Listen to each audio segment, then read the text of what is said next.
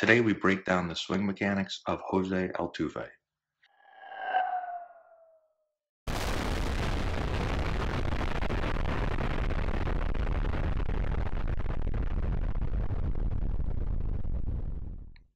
Hey, what's going on, fellas? How you doing, man? It's Nelly here. Um, so I've gotten a ton of emails, uh, Twitter and Instagram messages, comments on YouTube asking about Jose Altuve and his swing mechanics. He seems to be the most popular player out there as far as uh, people are concerned, wanting to, to see his swing and getting get an understanding of how a guy so small, five six or below, whatever he is, he's short. Um, how he's able to be so successful, be one of the top players in the league, be able to drive the ball and hit the ball so far. And so, what I want to do today is just kind of look at a couple things that I see um, when I watch his swing and break it down. You know, we talk about it all the time in in all of our videos how um, all hitters are a little bit different, right? So no two guys are going to swing the bat exactly the same way, but you know, we try to find some of those core principles that you'll find in, in all elite swings. And so um, Altuve has those, as do most hitters at the, at the MLB level, but he's also unique in some ways and he does things a little bit differently than maybe some others do it. And so I want to kind of just break those few things down and then let you guys comment in the section below if you guys see things, um, you know, what what you feel may be the difference, what stands out to you when you watch his swing. So here's a couple of things. Um, the first thing, when I when I watch him hit, um, we'll just kind of scroll through a couple of these swings right here as I talk. The first thing is, and everyone knows this, that he's a small guy, right? Um, as far as height goes, but he does not swing like a small guy, right? He looks like he is putting every ounce of his body into these balls right? He's he's swinging hard, and he also is swinging slightly up through the ball. So the misconception that you'll see a lot, or the advice that you'll get a lot if you're a smaller player, is swing down on the ball, hit the ball on the ground, and run because you're small and you can't hit for any power. Right? That's usually what people will say. Um, coaches at younger levels, parents, right? You know, you're just you're just not built to hit for power, man. You're small. You gotta you know hit the ball on the ground and run. That's the best recipe for success for you. Well, um, as you guys know, I don't I don't prescribe to that philosophy, but that is what a lot of people will hear and a lot of people will say. And Altuve is the opposite. He's swinging hard and he's swinging slightly up. So he's he's trying to drive the ball, right? He's not looking to just hit singles he's looking to slug the ball around, although he may be a smaller guy. All the things we talk about as far as trying to get the bat to work in the zone early and slightly up so that you increase your ability to consistently contact the ball. You increase your ability to, to create that good launch angle where you're going to drive the ball. You're going to get the ball a little bit more in the air. You're going to hit a lot more line drives that carry. You're going to hit more doubles, more triples, more home runs as you get stronger. He does all that. So he's not just trying to hit the ball on the ground. And there's probably a good chance if he were, you know, if he were to do that as a younger player, and people said, "Hey, you know, Jose, you're you're five five or whatever, you're five two, I don't know." You know, you should just just hit the ball on the ground, man. Just just hit it hit it on the ground and try to hit some singles. It's probably a good chance he never makes it to the major leagues, That, let alone be one of the best players in the league. So he understands that he's not a big guy, right? And so he knows he has to use his body really, really well. He can't just rely on his size because he's not big. So he uses his entire body when he hits to help him create bat speed and also to create consistency by having a bat path that works in the zone for a long time. So if you don't know, if this, if you're new to our videos, go check out our bat path video. We make a ton of them. Just made one probably a week or so ago, uh, showing Kris Bryant his bat path. Um, but he does a great job of keeping his bat in the zone for a really long time. The next big thing that I see, the second thing I want to talk about is that he's he's pretty unique with is his forward move or his lateral move or his sideways move, whatever you want to call it. But basically, when he picks his foot up, you know, when he picks his foot up and then moves sideways, that's a big move, right? And you'll see, you'll see again, guys do different things. You'll see some players that have really, really big moves. You'll have some players that have smaller moves. Um, but it's interesting here, smaller guy, right? Needs to use his body as much as possible. Like I said, can't rely just on his stature to help him create bat speed. And so he's putting everything he has into his swing. So he makes this big, big forward move, right? He gets his hands, he, he already starts with his hands pretty back and somewhat high for most players I see and he really moves forward as he leaves his hands back there, trying to create. You know, we talk all the time about um, trying to create some type of tension in your body um, to hit with. So, in the analogy I've used a bunch is you tie a you, you put a elastic around your thumb and you pull that elastic back. The further you pull it back, the more tension you're storing, the more energy you're storing. If you want to be able to create a lot of energy in your swing, you've got to be able to store it. And so he's pulling back, you know, he's basically pulling back, back, back, back, back, back, back.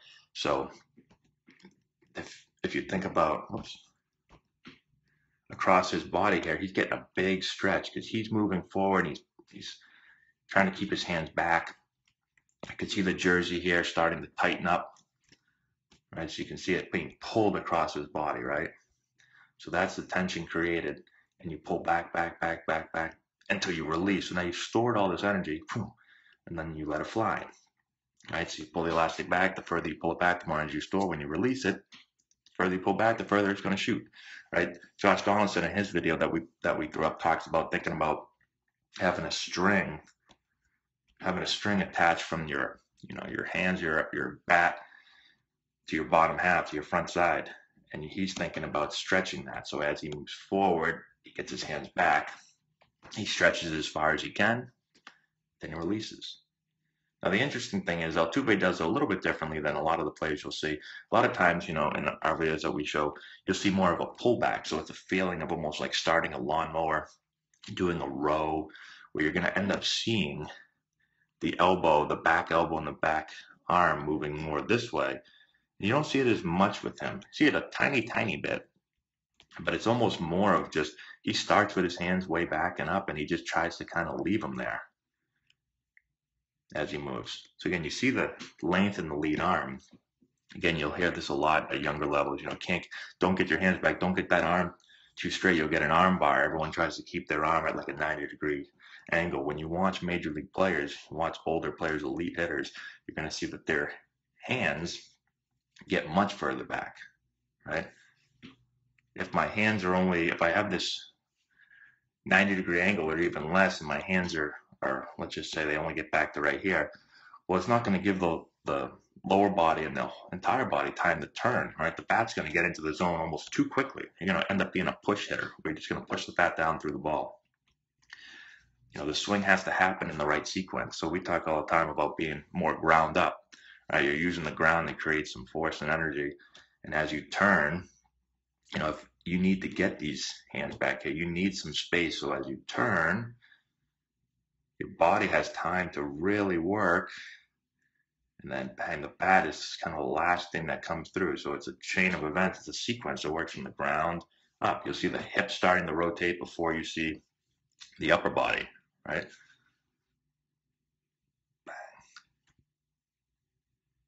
And when that swing unwinds, that's where the power and the energy comes from. So again, you store it. So I'm stretching, I'm storing it as I make that move into the ball. It works from the ground up, all the way up the upper body, and then the bat is finally released into the zone. So again, if you're a small guy, you need to be able to use some of these things because you don't have, you know, he's less than five six he probably doesn't weigh anything. Right? It's tough to weigh a lot when you're that small. You know, he's not Aaron Judge, who's six foot eight, 285 pounds or whatever, right? If you're that big, then you don't have to use your body as well because you're you can rely more on just natural strength and uh, and power of, of your of your body.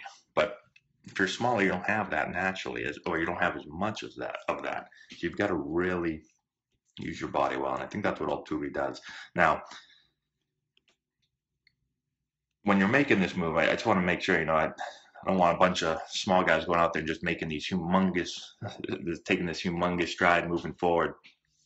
Um, although you can mess around with it and, and fool around with different stride lengths, but again, it's important that when you that when you move, you're thinking about again trying to get the separation, trying to get trying to pull my hands back as I move forward.